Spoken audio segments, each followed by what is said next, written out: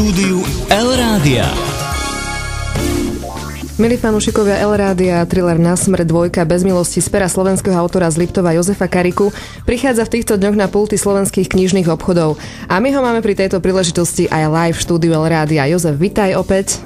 Zdravím poslucháčov a ďakujem za pozvanie. Keďže je to pokračovanie tvojho románu, ja si myslím, že vôbec nebude od veci pripomenúť, o čom vlastne tento román je, teda tá prvá časť. Nebude aby sa, aby sa poslucháči a teda aj čitatelia e, vedeli veľmi dobre napojiť na tú prvú časť. Čiže je to mrazivý thriller o priateľstve a láske, ktoré sa zmenili na smrteľnú nenávisť. Dvaja nerozluční priatelia vyrastajú koncom 20. rokov minulého storočia v malom slovenskom meste. Po tragickej udalosti sú nútení utiec do zahraničia a opustiť dievča, o ktoré sú peria. Jeden emigruje do New Yorku, stane sa pešiakom obávaného židovského gangu, zažije krvavú vojnu najmocnejších mafiánskych rodín stúpa v hierarchii podsvetia. Druhý sa ocitne v Mníchove, kde ho zverbujú do nacistickej tajnej služby. Zúčastní sa na mnohých vražedných akciách a postupne sa mení na beštiálneho dôstojníka SS. Po vypoknutí vojny sa opäť stretávajú, vydrží ich priateľstvo ťažkú skúšku, alebo sa z nich stanú nepriatelia na život a na smrť. Tak na to práve odpovie táto druhá časť, toto pokračovanie. Ty si, Jozef, o tom povedal, že sú tam vášne, nenávisť, násilie, ale aj krehké city. Je to príbeh, ktorý čitateľa rozseká na kúsky.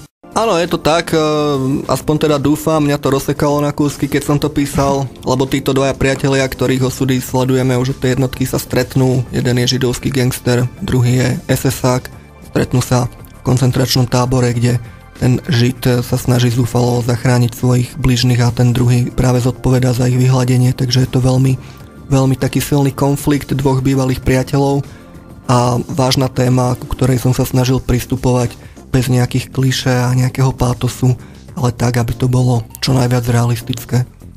Keďže je to príbeh na pokračovanie, tak mal si v hlave celý príbeh od samého začiatku, alebo pokračovanie vzniklo spontánne po tej prvej časti? Áno, mal som to v podstate od začiatku celé v hlave a chcel som to aj ako jednu knihu pôvodne napísať, len malo to ten technický problém, že keby som to písal naraz, tak eh, by asi 5 rokov o mne nebolo počuť a vyšlo by to v čase, kedy by som už nikoho ani nezaujímal. Možno, čo neviem, aj teraz, či vôbec niekoho. Ale v podstate dlho by to trvalo a tá kniha by bola strašne drahá, takže sa to rozdelilo do dvoch častí, ktoré nadvezujú na seba. Na príbeh tohto druhu musí byť autor určite pripravený vedomostne, lebo téma je aj historická a ty si sa snažil zakomponovať do deja reálne mená vojnových zločincov a mafiánskych gangstrov plus analýza tohto obdobia. Ja som to čítala, takže naozaj to bolo bravúrne spracované. Ďakujem. Čo bolo takou tvojou školou, aby si to zvládol vierohodne? Z akých prameňov si čerpal? Aj ohľadom tých praktík, mučenia a tak ďalej. No, praktiky mučenia nejako extrémne som, som ne, neskúmal, spoliehal som sa na to, že ľudia aj tak nevedia úplne presne, ako to vyzerá, pretože s tým dúfam nemajú praktické skúsenosti.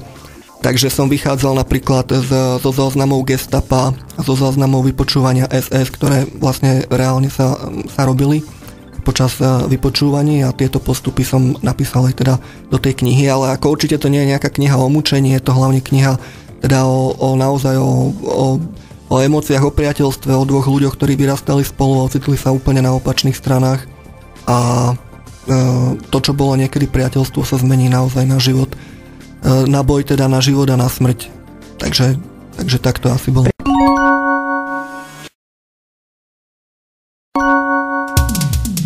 Host v štúdiu El Rádia.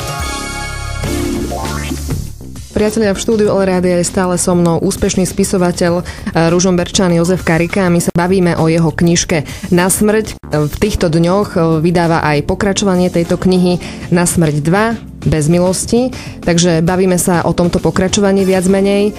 Jozef, ty si v podstate pred rokom krstil tú jednotku, Krstil si to dokonca kosou, takže celkom originálne. Tvojim krstným otcom bol Erich Boboš Prochádzka so skupinou zložení Pištalendel, Igor IG Sabo, Martin Zajko, ktorým si za to veľmi ďakoval a bol si veľmi spokojný s týmto krstom. No a teraz vlastne vychádza tvoje pokračovanie, už nájdeme aj túto knižku aj v knihkupectvách, v predajniach, kamenných aj nekamenných, aj na internete sa dá určite zakúpiť. Ako bude teraz vlastne prebiehať ten krst tvojej knižky? chcel by som to poňať tento raz trošku vo vážnejšej atmosfére, pretože tá kniha je z veľkej miery o holokauste, nie len o holokauste a neodohráva sa iba v koncentračnom tábore, ale povedzme aj v Ružomberku a na Liptove počas Slovenského národného povstania, oslobodenia te, vlastne počas druhej svetovej vojny. Takže to sú také dosť vážne témy, tak nejaké, nejaké srandičky tento raz nechcem veľmi robiť, lebo sú to reálne obete, reálny, reálne osudy ľudí, veľmi vážne tak myslím, že to bude v komornejšom duchu. A určite rád by som zase pozval hudobníkov a všetko možné, bude to v Bratislave, tak e, teším sa na to, ale tento raz neplánujem žiadne sekanie knihy, ani kosov, ani pílenie motorovou pílou, ani nič podobné, ako bolo doteraz.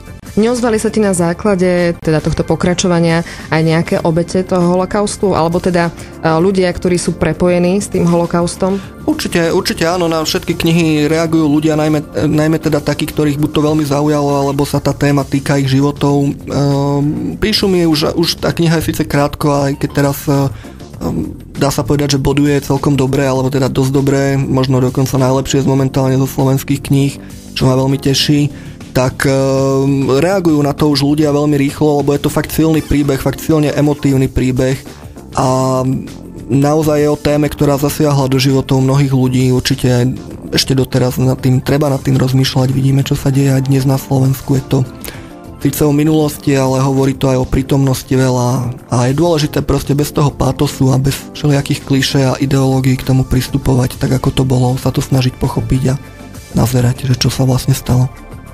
Podľa teba ako autora, aký odkaz kniha prináša pre čitateľa? Čo by si mal z toho odniesť?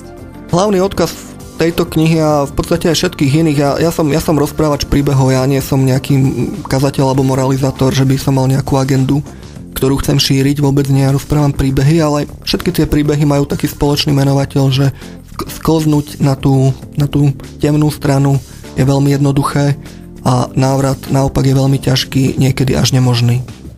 Jozef, prezrad nám ešte, prišlo nám veľa posluchackých otázok, aj ženy, aj muži.